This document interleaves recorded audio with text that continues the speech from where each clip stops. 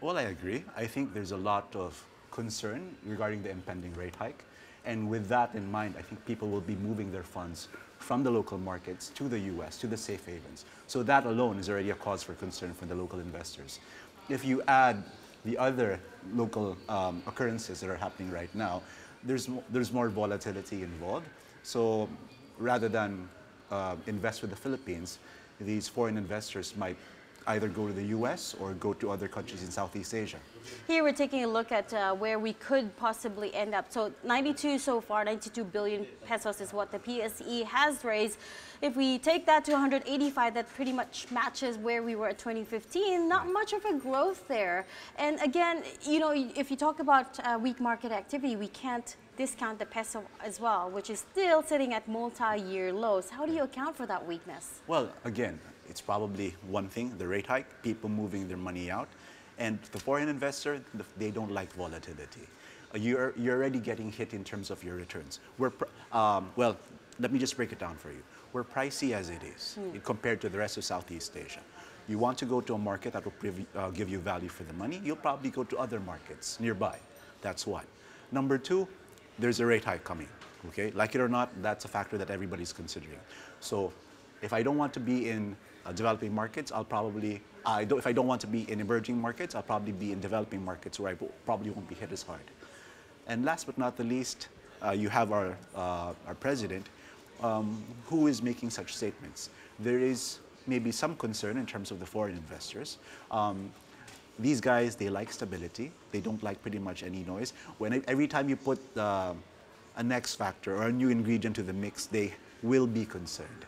So with that, that's probably why there are a lot of fund flows. And this out. time, that X factor comes back to all the, the president's rhetoric against all of these international bodies. We do have one big uh, IPO coming up in the pipeline. That's Pilipinas Shell, trying to raise uh, just under 30 billion pesos. But if you take a look at the pricing, it's it's it's costing it. Uh, it's pricing it at about uh, 90 pesos a piece, which is uh, quite expensive when you compare it to the rest of the boards. What's your assessment of this? Well, I think it's interesting. Um, it's one of the few types of stocks in, um, in the PSE. Um, it's an oil play, basically. What it does is it, uh, it entices some investors to come into the market. That's what it wants to do.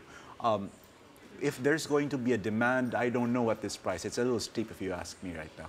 That is also what we've heard from the other analysts, but you like it because it's got uh, the oil factor to it. And oil actually, if you take a look at where prices are right now, hovering at three month highs. That's basically, uh, I guess we can attribute that to optimism on the OPEC deal. I agree, I agree. I guess the problem with the Philippines at this stage is that the BSP has worked in price assumptions of between 45 to 50 for oil and already we might go past that. Take a look at the international benchmark there, Brent. Could this then, if oil does spike, could this uh, cause a bit of an inflationary spike for the Philippines? Well, logically, if oil does go up, it will cause some inflation.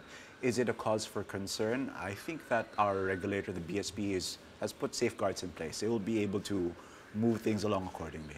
So all is steady on that front, nothing to worry. Lastly, Robert, I want to ask you about your stock picks. You talked about uh, overvaluation a bit earlier. And I'm take, I took a look at your stock picks. You like Metro Pacific, right. Ayala Land, and First Gen. Yes. And if you take a look at the price earnings ratio for these stocks, they're also not terribly cheap. Take a look at Ali at forward, forward price earnings ratio at about 28 times earnings. How do you account for this? Well, any Ayala firm is quite expensive. I think that's the story there. But if you look at the story behind these stocks, this is probably what's driving up the valuations. MPI, it's an infrastructure play. What's happening in the country right now, the, go the government is open to even to open unsolicited bids. Um, we want to build a lot of things, so we need a lot of things. MPI will benefit from that. And in line with that, so if you're building, building, building, and there are a lot of infrastructure projects around, which real estate firm will stand to benefit? The one that has uh, developments near these infrastructure projects. That's Ayala Land. Okay, so these two actually they're uh, they're correlated. So what about First Gen? Well, What's I, the story there? The story there is that they're creating um, power supply, and I do believe that we need it in the near future.